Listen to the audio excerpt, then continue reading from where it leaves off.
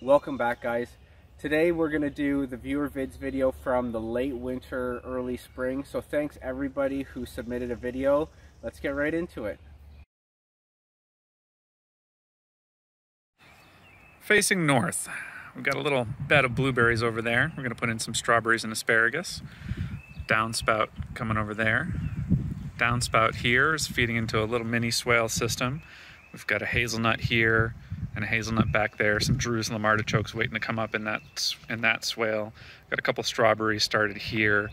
There's some cucumbers and sunflowers over there, I can't see obviously. Wood pile delivered by the tree guy. I'm gonna cut it myself for firewood.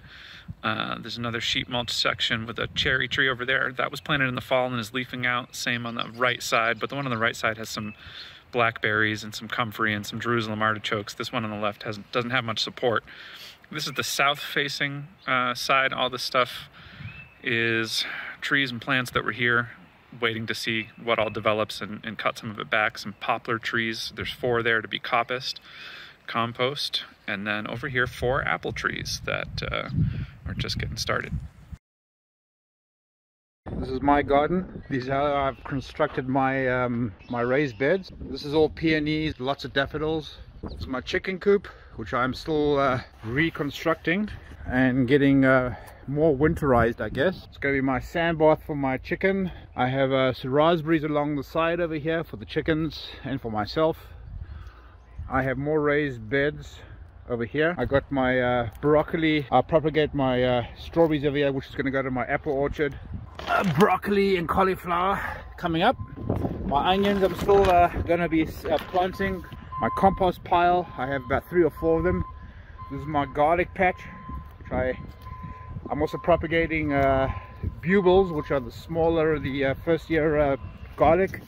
This is my tomato beds that i'm going to be using. This is the new uh, raised wood chip uh, garden I'm going to use for, for larger plants like um, zucchini, squash, uh, vines like watermelons, etc my blueberry patch, my solar panel with my apple orchard and cherries. Got black currants, red currants, gooseberries and pears. Yeah, that's it.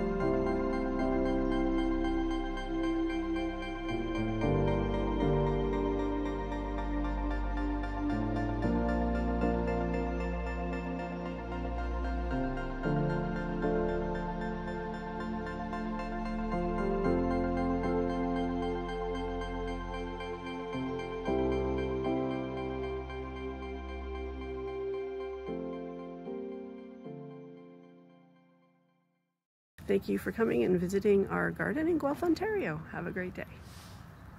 Good morning, Canadian Permaculture. It's April 6th. This is my front garden here in Guelph, Ontario. We have a raised bed and a couple other small beds. Now I'll take you to the back. So quickly, we're just gonna do the back garden.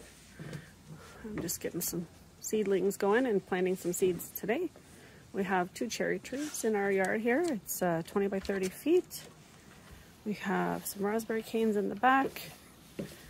Mulch every year, trying to build up our soil. The dog had a haircut yesterday. I leave that for the birds to put in their nests. And then last year we had all of our berry bushes down here. They weren't getting enough sun, so I moved them. I'll show you in a second. And we have a couple of tomato planters here. This is our main bed. We grow most of our vegetables here and in the front, but we're going to add a second bed this year to this side as well. And I'm going to put some sort of a cattle panel or something to arch over the walkway that we can grow up onto vertically. And these are some strawberry plants. They're wild, creeping thyme. And this is where we moved the berry bushes. So we have some red currants, some blueberries, and some honeyberries. That's our water catchment there.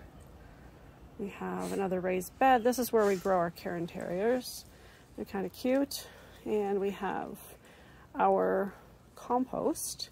Mulch is really good too for the dogs because it neutralizes the smell from their urine. So. Okay, upstairs transplants of some propagated stuff. It's overwintered strawberries, geraniums from seed, and uh, pansies from seed I collected. They're going out on the deck. I'm redoing this horizontal. Forgot your uh, request. Uh, you can see the mountains. This is our deck. We've got flower boxes up on top. Beautiful mountains there. So, this is the side yard. Uh, a bunch of fruit bushes. Now back into the main garden. It's a cherry tree. Uh, redoing the patio.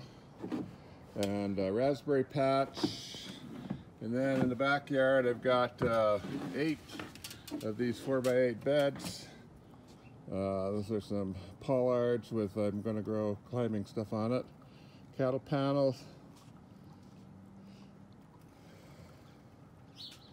And there's a little hothouse on the far side. Backyard, fruit, lots of fruit, uh, apples, cherries, plums, pears, uh, putting in apricots, and grapes, uh, blueberries, and of course uh, lots of veggies.